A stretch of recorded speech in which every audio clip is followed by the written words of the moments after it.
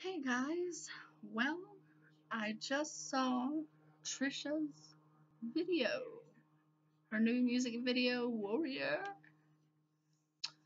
Um, I think it was decent. Um, you know, I have no complaints. I mean, I wasn't in love with it, but I mean, it was it was pretty good. I mean, I don't think I could make anything like that. So, you know, it's pretty good. Um, what did you guys think if you watched it? Um, which I'm sure you probably did. I'm sure practically everybody watched it or is going to.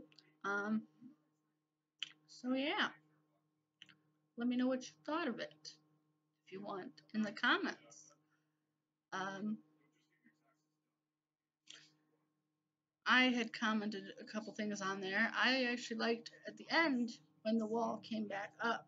Some people were saying they liked when she pushed it down. For some reason, I liked when it came back up. And yeah, I don't know why.